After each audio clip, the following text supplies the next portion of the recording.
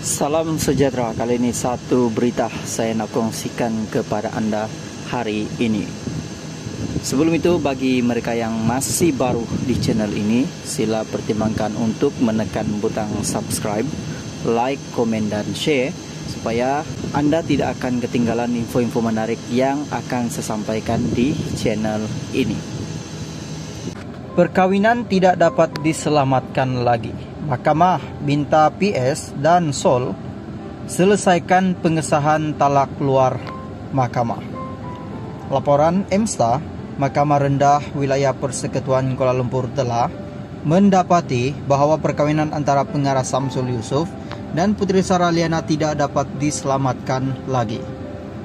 Hakim Akah Maludin tampil membuat kesimpulan tersebut lepas pegawai jawatan kuasa pendamai dalam gurungan JKP pasangan itu memberitahu dapatan pertemuan sebelum ini.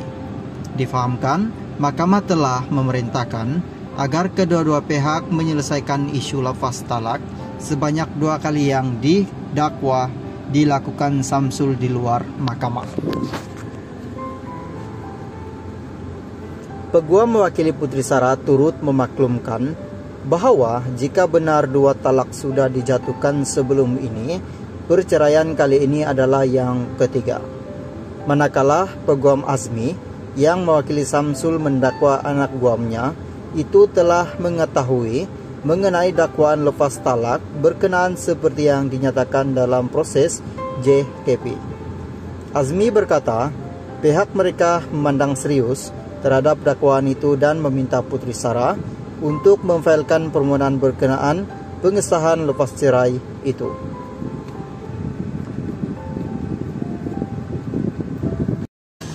Salam sejahtera. Kali ini satu berita saya nak kongsikan kepada anda hari ini. Sebelum itu bagi mereka yang masih baru di channel ini, sila pertimbangkan untuk menekan butang subscribe, like, komen dan share supaya anda tidak akan ketinggalan info-info menarik yang akan saya sampaikan di channel ini. Netizen pesan Emilia, jaga Sarnas baik-baik. Sejak berani muncul berdua dalam kelayak ramai, nama Emilia tiba-tiba meledak. Paling mencetuskan bualan pastinya, kalibatnya merangkul kemas lengan Sarnas dakaman sebuah acara filem baru-baru ini.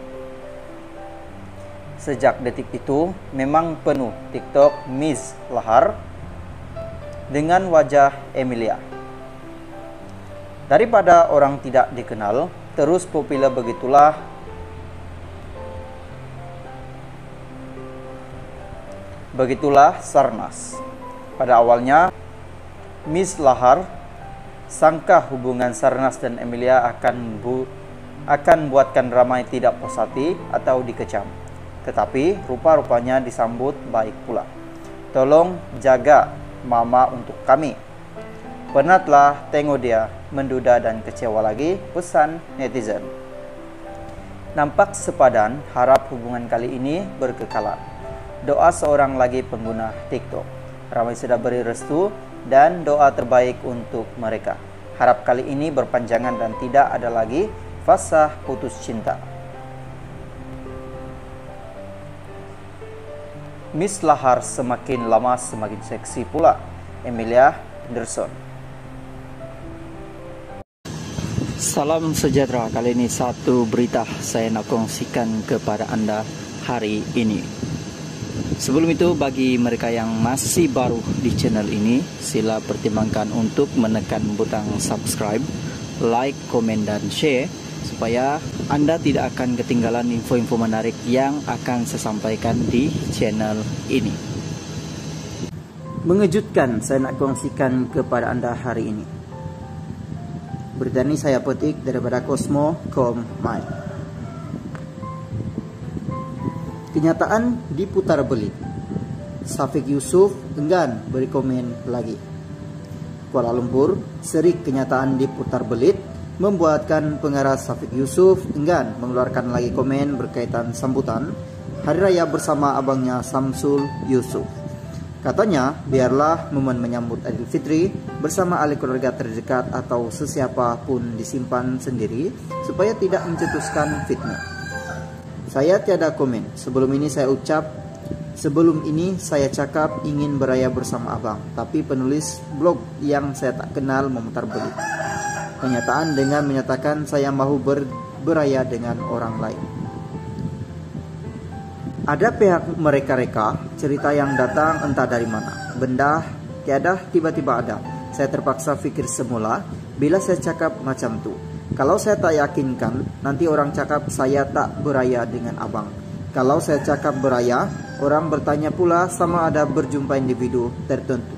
Biarlah perkara ini jadi persoalan, saya pilih untuk tidak memberi sebarang komen.